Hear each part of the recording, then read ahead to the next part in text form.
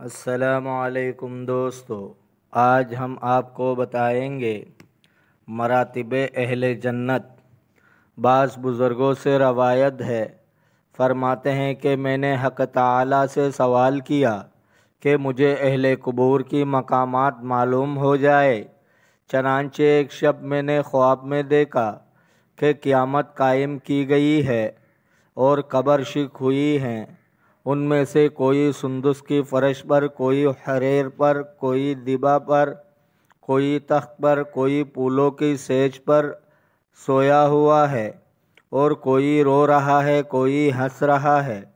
मैंने कहा, ए अल्लाह, अगर आप चाहते तो इन सबको हलाक कर देते। उसी वक्त अहले कबूर में से एक ने चिल्लाकर कहा, ए शख्स, ये मरातब आमाल के हैं। असहाब सुंदस ने खुलक वाले लोग हैं। असहाब दिबा व हरीर शहदा हैं। फूलों की सेज वाले लोग साइमीन हैं और हंसने वाले लोग अहले तोबा हैं और रोने वाले लोग गुनहगार हैं और बड़े दर्जों वाले अल्लाह के वास्ते बाहम मोहब्बत रखने वाले लोग हैं। मुअल्लिफ़ कहते हैं कि असल में यूँ ही मस्कूर है। जिससे मैंने नकल किया है कि तफसील में अहल मरातब भी मस्कूर है। हालाँकि उसका ज़िक्र पहले नहीं हुआ है। अलबत् असहाब शरीर का यानी तख्त वालों का ज़िक्र पहले हुआ है और उसकी तफसील अब तक नहीं आई कि वो कौन लोग हैं। शायद अहल मरातब से माए तख्त वाले ही हैं।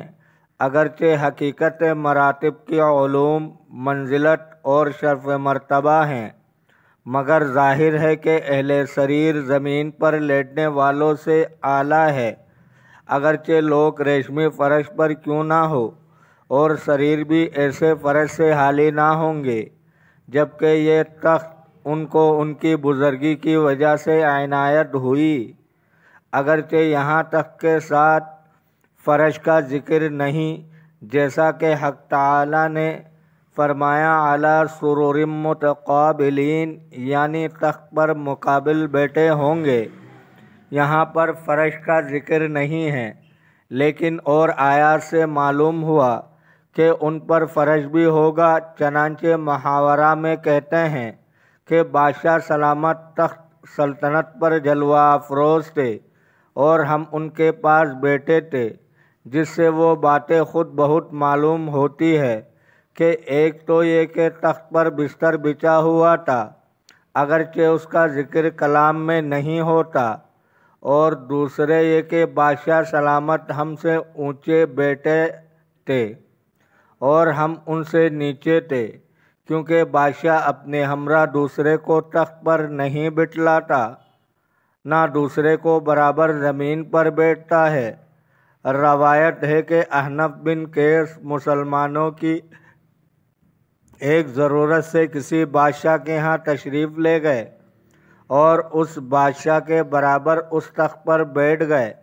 जब उसके चेहरे पर आसार गज़ब मुलाहजा किए तो फरमाया, जो शख्स दिन में तीन बार इस्तंजा करता हो, वो अपने जैसे पर क्या फ़ख्र कर सकता है? अलहाजा जब अब्दुल मुत्तलिब एक बादशाह के पास किसी ज़रूरत से गए और बादशाह ने उनकी वजाहत और उनकी शराफत की खबर सुनी और उनकी शीरी कलाम मुलाहजा की तो बादशाह ने उनकी इज़्ज़त की और उनको अपने सामने तख्त से नीचे बिठाना पसंद ना किया, ना तख्त शाही पर अपना बराबर बिटलाना गवारा किया। आखिर तक से उतर कर उनकी बराबर ज़मीन पर बैठा और उनकी हाजत पूरी की और बड़ी इज़्ज़त के साथ रुखसत किया। उन किस्सों की बिना पर भी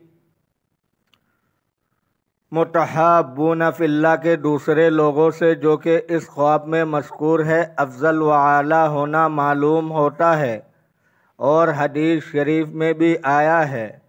दोस्तों, अगर आपको वीडियो अच्छी लगी है तो लाइक करें, शेयर करें, चैनल को सब्सक्राइब करें। अपने बहुत सारे ख्याल रखिएगा। मिलते हैं अगले वीडियो में। अल्लाह हाफिज़।